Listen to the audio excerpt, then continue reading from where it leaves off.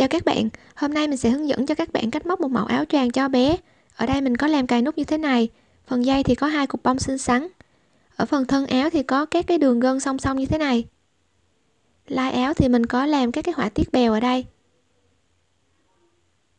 Đây, mẫu áo như thế này. Thì dụng cụ mình gồm có len miêu cô tông, kim móc mình dùng kim móc 4.0 mm, kéo cắt len và một hạt nút đầu tiên các bạn tạo cho mình một nút móc và kéo len qua vòng tròn. Dùng tay kéo sợi len dài để thành một nút từ nút này các bạn móc lên cho mình 70 mũi móc xích.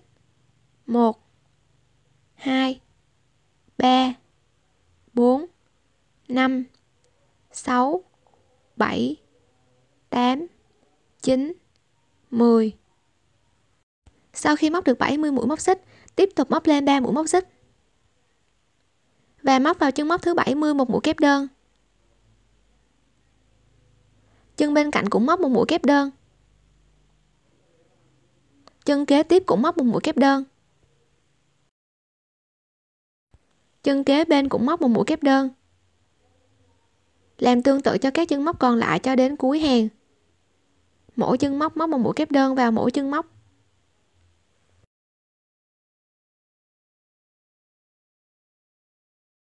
Sau khi móc các cái mũi kép đơn đến cuối hàng, tiếp tục móc lên hai mũi móc xích. Quay ngược đầu móc lại. Ta móc vào bốn chân móc liên tiếp ở đây, bốn chân móc liên tiếp này, mỗi chân móc móc một mũi kép đơn vào mỗi chân móc. Móc cho mình bốn chân móc. Mỗi chân móc móc một mũi kép đơn vào mỗi chân móc.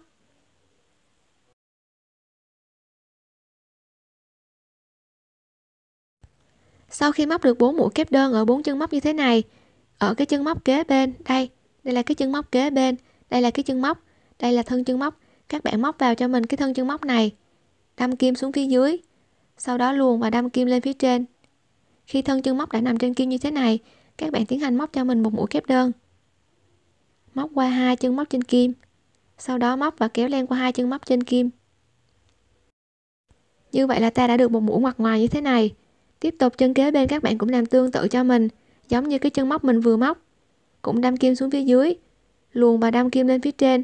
Khi thân chân móc đã nằm trên kim, tiến hành móc một mũi kép đơn vào cái thân chân móc này.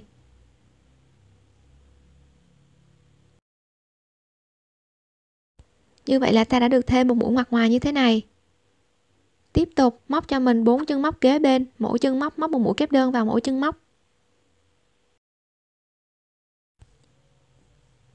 Hai. 3 và 4 sau khi móc được 4 mũi kép đơn, tiếp tục móc vào cái chân móc kế bên. Đây, móc vào đây cho mình một mũi ngoặt ngoài, giống như cái chân móc bên này. Cũng đâm kim xuống phía dưới và luồn kim lên phía trên. Khi thân chân móc đã nằm trên kim thì tiến hành móc cho mình một mũi kép đơn. Tiếp tục chân móc kế bên cũng móc một mũi ngoặt ngoài. Cũng móc vào cái thân chân móc này. Móc vào đây một mũi ngoặt ngoài.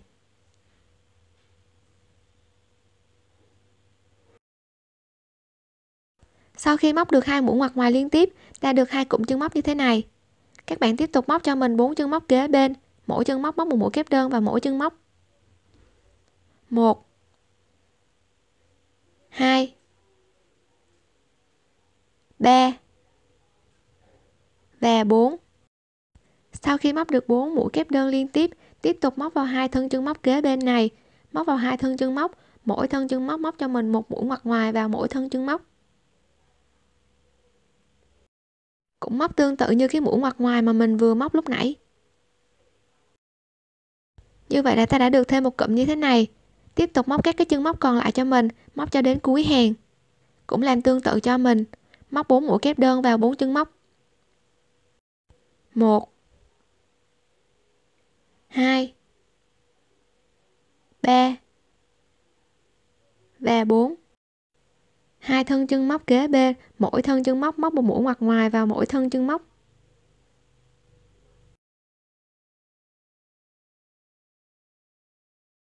Làm tương tự cho đến cuối hàng. Sau khi móc đến cuối hàng thì ở cuối hàng sẽ kết thúc là bốn chân móc liên tiếp như thế này.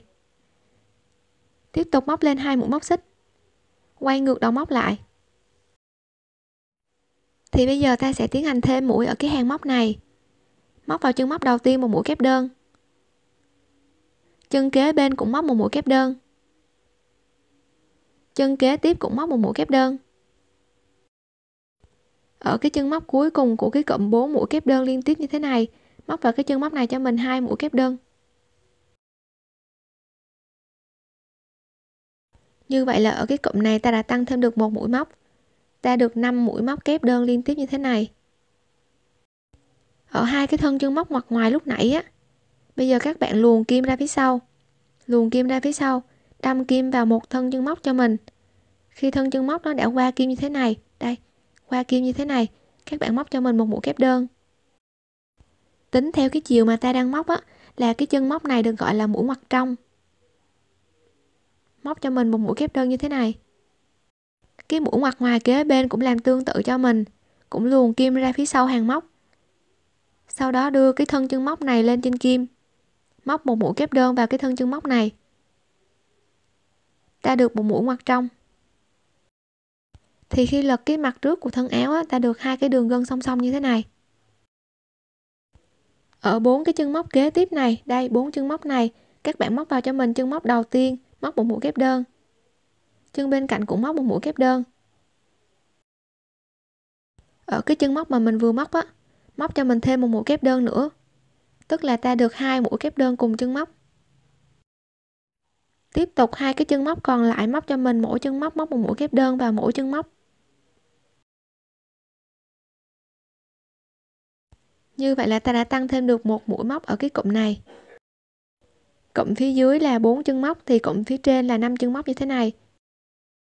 Hai chân móc kế bên làm tương tự giống như hai chân móc này cũng lấy len sau đó luồn kim ra phía sau thân chân móc.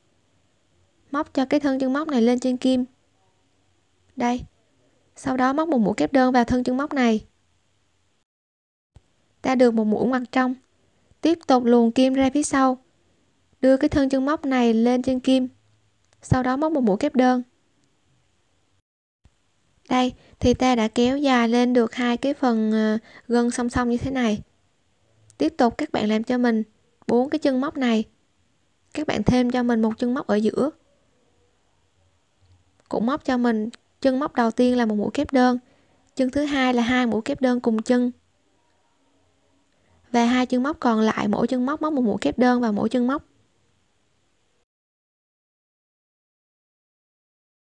Thì ta đã được 5 mũi móc như thế này. Đây 5 mũi móc hai thân chân móc kế bên các bạn cũng móc cho mình vào hai thân chân móc này. Móc cho mình các cái mũi ngoặt trong. Làm tương tự giống các cái mũi ngoặt trong mà mình vừa làm lúc nãy.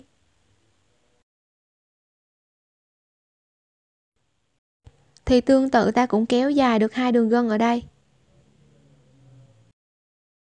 Ở cụm bên này ta được 5 mũi móc kép đơn như thế này.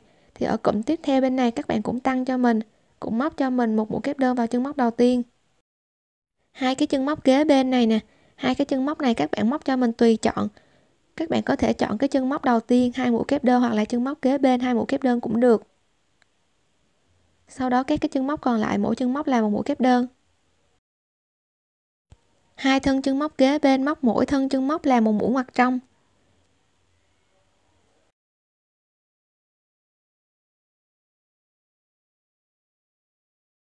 Tương tự cho các chân móc còn lại cho đến cuối hàng. Thì ở bốn chân móc cuối cùng này, các bạn thêm cho mình vào cái chân móc đầu tiên, thêm vào đây hai mũi kép đơn. Khác với cái đầu dây bên này thì ta thêm mũi ở cái chân móc cuối cùng này, đây, cái chân móc cuối cùng. Ở đây ta thêm vào cái chân móc đầu tiên. Còn ở đây thì ta thêm vào các chân móc ở giữa.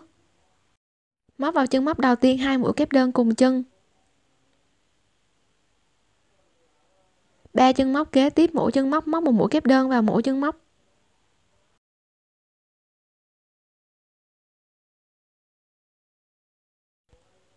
Thì ta được 5 mũi móc như thế này. Móc tiếp lên hai mũi móc xích, quay ngược đầu móc lại.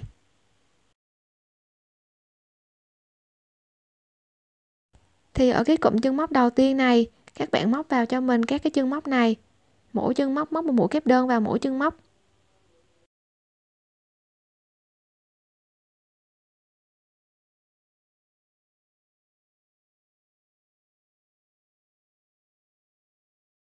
Sau khi móc được 5 mũi kép đơn liên tiếp như thế này, thì ở cái chân móc cuối cùng móc thêm cho mình một mũi kép đơn nữa. Ở hai cái thân chân móc kế tiếp này, các bạn móc cho mình vào hai cái thân chân móc này. Mỗi thân chân móc móc một mũi ngoặt ngoài vào mỗi thân chân móc. Các bạn cũng luồn kim cho cái thân chân móc lên trên kim, sau đó móc một mũi kép đơn vào thân chân móc này. Làm tương tự cho thân chân móc kế bên cũng móc cho mình một mũi ngoặt ngoài vào thân chân móc.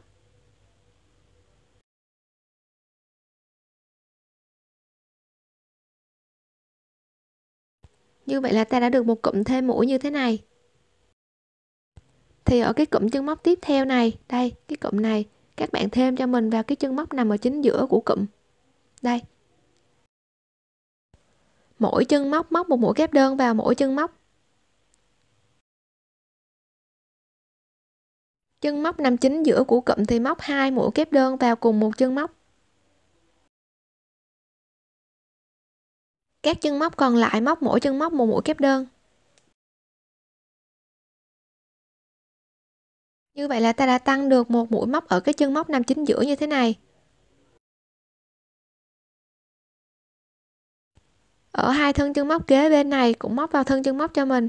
Móc mỗi thân chân móc móc một mũi ngoặt ngoài vào mỗi thân chân móc.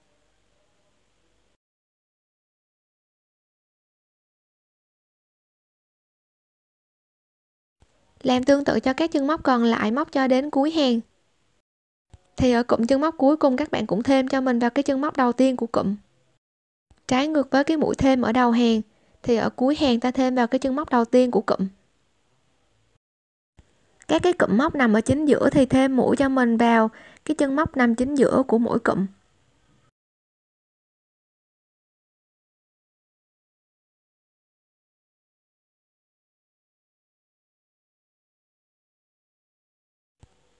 Thêm mũi như thế này, và hai thân chân móc kế bên thì mỗi thân chân móc móc một mũi ngoặt ngoài và mỗi thân chân móc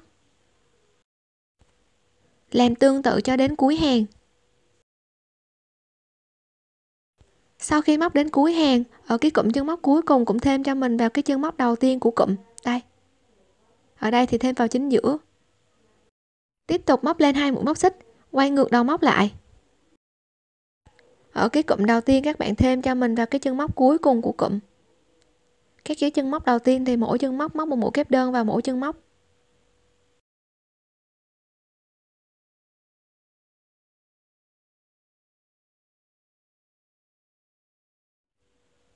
Chân móc cuối cùng móc hai mũi kép đơn vào cùng một chân móc. Làm tương tự cho đến cuối hàng và thêm cho mình các cái hàng móc lặp lại tương tự như vậy. Thêm cho mình các cái hàng móc như thế này. Thì ở đây mình đã lên thêm được hai hàng móc. Thêm vào điểm cuối cùng điểm đầu tiên. Ở các cái thân này thì thêm vào điểm chính giữa. Thì cái phần thân áo đã có đủ cái độ xòe đây là khoảng cách giữa hai vai nè. Khi đã móc tới phần vai của bé, nếu mà ta móc tiếp theo các cái hàng móc tương tự như vậy, tăng mũi như vậy, thì cái độ rộng của áo nó sẽ rất là rộng. Cho nên bây giờ ta sẽ tiến hành giảm đi các cái hàng móc thêm mũi. Các bạn móc lên cho mình hai mũi móc xích. Quay ngược đầu móc lại. Thì ở hàng móc này ta sẽ tiến hành không tăng mũi nữa các bạn móc vào cho mình, mỗi chân móc móc một mũi kép đơn vào mỗi chân móc.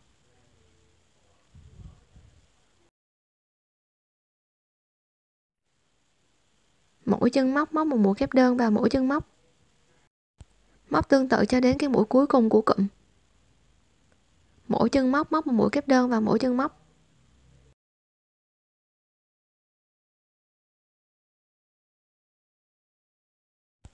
Thì ở cái chân móc cuối cùng của cụm ta cũng móc một mũi kép đơn vào cái chân móc này. Ở hai thân chân móc kế tiếp, móc vào hai thân chân móc này, mỗi thân chân móc móc một mũi ngoặt trong. Cũng luồn kim như thế này, sau đó móc vào thân chân móc một mũi kép đơn. Tương tự cho thân chân móc kế bên.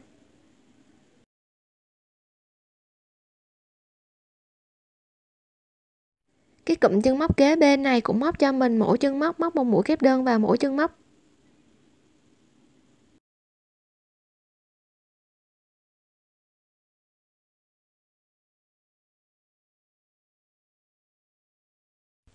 Ở cái chân móc nằm chính giữa của cụm các bạn cũng móc cho mình vào cái chân móc này một mũi kép đơn.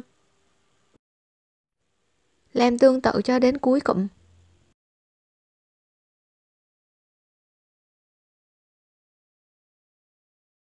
Ta được một cụm không thêm mũi như thế này. Đây.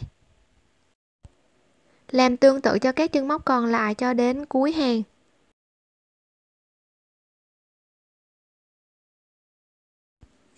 Thì ở hàng móc tiếp theo, các bạn cũng móc cho mình thêm một hàng móc không thêm mũi như thế này, tương tự giống như cái hàng móc mà mình vừa móc.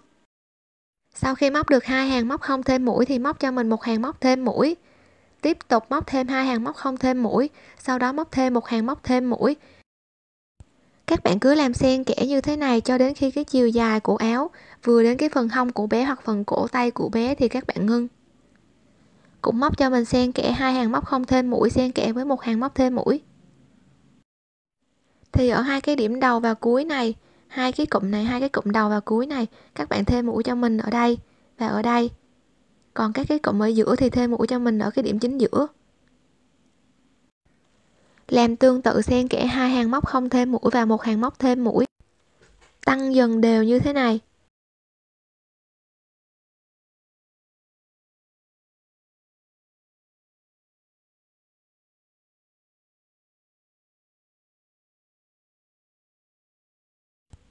Thì ở đây mình đã móc thêm được các cái hàng móc như thế này. Thì cái chiều dài này đã vừa đến cái phần hông của bé. Các bạn cũng móc xen kẽ cho mình. Hai hàng không thêm mũi như thế này. Đây, hai hàng không thêm mũi. Hàng phía trên và hàng phía dưới thêm mũi. Xen kẽ như thế này. Thì cái chiều dài này đã vừa đến cái phần hông của bé. Ở cái điểm cuối cùng này, các bạn móc lên cho mình một mũi móc xích. Kéo và cắt len.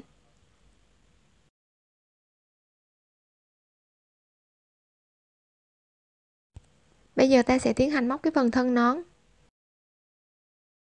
Các bạn tạo cho mình một nút. Móc và kéo len qua vòng tròn. Dùng tay kéo sợi len dài để thành một nút. Sau đó dùng kim đâm vào cái chân móc đầu tiên của phần cổ áo. Đây đây là cái chân móc đầu tiên. Móc vào cái chân móc này. Sau đó kéo cái phần nút mà mình vừa tạo qua chân móc. Móc lên hai mũi móc xích móc vào chân móc vừa móc một mũi kép đơn.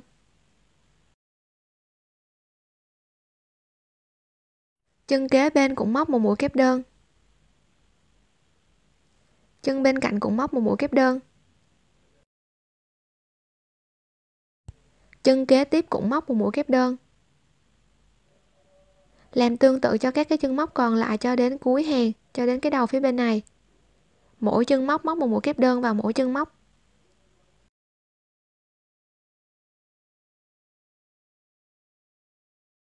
Thì sau khi móc đến cuối hàng, tiếp tục móc lên hai mũi móc xích. Quay ngược đầu móc lại. Móc vào chân móc đầu tiên một mũi kép đơn.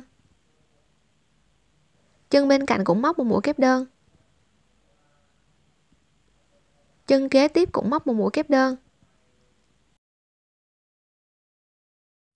Làm tương tự cho các chân móc còn lại đến cuối hàng mỗi chân móc móc một mũi kép đơn vào mỗi chân móc.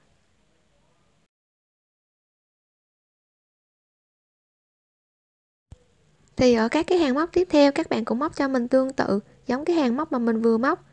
Móc cho mình lên một đoạn đến cái đỉnh đầu của bé. Mỗi chân móc móc một mũi kép đơn vào mỗi chân móc. Cho đến khi cái chiều cao này nó vừa đến cái phần đỉnh đầu của bé. Móc vào mỗi chân móc móc một mũi kép đơn.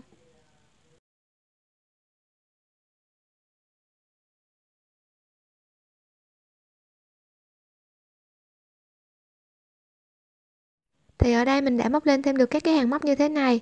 Cái chiều cao này đã vừa đến cái đỉnh đầu của bé. Tiếp tục móc lên một mũi móc xích. Móc vào chân móc đầu tiên một mũi móc đơn. Chân móc kế bên là cái chân móc này, đây. Móc vào đây cho mình hai mũi móc đơn cùng chân móc. Chân móc kế bên cũng móc cho mình hai mũi móc đơn vào cùng một chân móc. Chân bên cạnh cũng móc hai mũi móc đơn vào cùng một chân móc. Làm tương tự cho các cái chân móc còn lại, cho đến cuối hàng. Mỗi chân móc móc hai mũi móc đơn vào cùng một chân móc.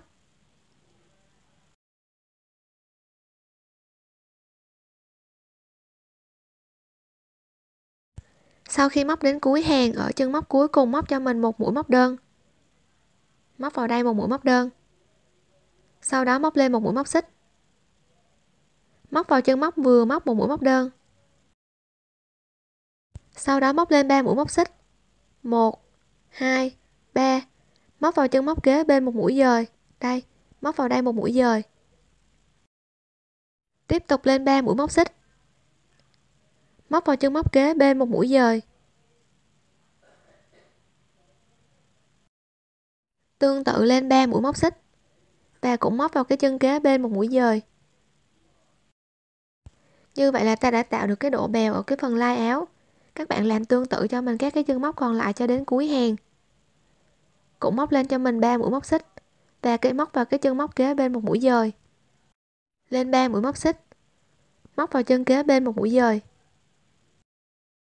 Làm tương tự cho đến cuối hàng.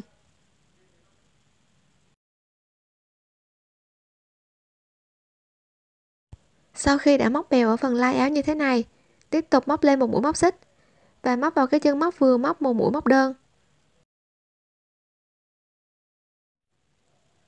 Chân móc kế bên, đây là cái chân móc này, móc vào đây cho mình hai mũi móc đơn. Chân kế tiếp cũng móc hai mũi móc đơn cùng một chân móc. Chân bên cạnh cũng móc hai mũi móc đơn cùng một chân móc làm tương tự cho các chân móc còn lại cho đến cái đỉnh này. Mỗi chân móc móc hai mũi móc đơn vào cùng một chân móc.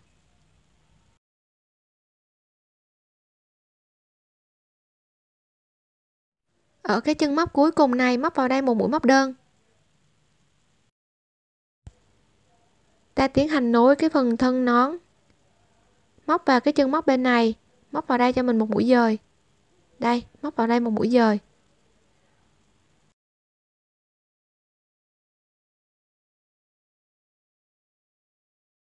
Thì đây là cái phần mặt phải của áo.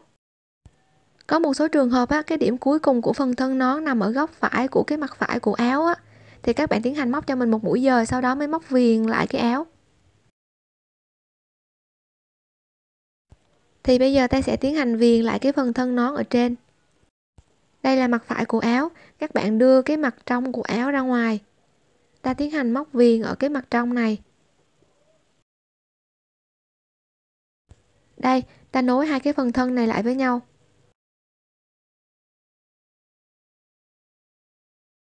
Đâm kim vào chân móc đầu tiên của phần thân trên. Như thế này. Đồng thời cũng đâm kim vào chân móc đầu tiên của phần thân dưới khi trên kim đã có hai cái chân móc như thế này, các bạn móc vào cho mình một mũi móc đơn. Hoặc ta có thể nối hai cái phần này lại bằng các cái mũi dời. Đâm kim vào hai chân móc, sau đó móc vào hai chân móc này một mũi dời. Tiếp tục đâm kim vào hai chân móc. Hai chân móc song song với nhau. Đâm kim vào đây. Sau đó móc vào một mũi dời làm tương tự cho đến cái điểm phía bên này. Cũng đâm kim vào hai chân móc song song với nhau. Sau đó móc vào hai cái chân móc này một mũi dời, để nối lại.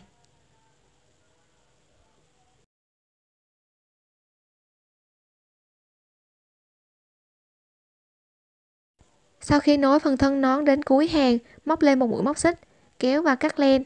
Sau đó giấu phần len thừa vào trong mũi móc sau khi giấu lên xong đưa mặt phải của áo ra ngoài. Các bạn móc cho mình một sợi dây móc xích. Đây, một sợi dây móc xích như thế này. Sau đó luồn vào trong các cái thân chân móc của các cái mũ mặt ngoài đây.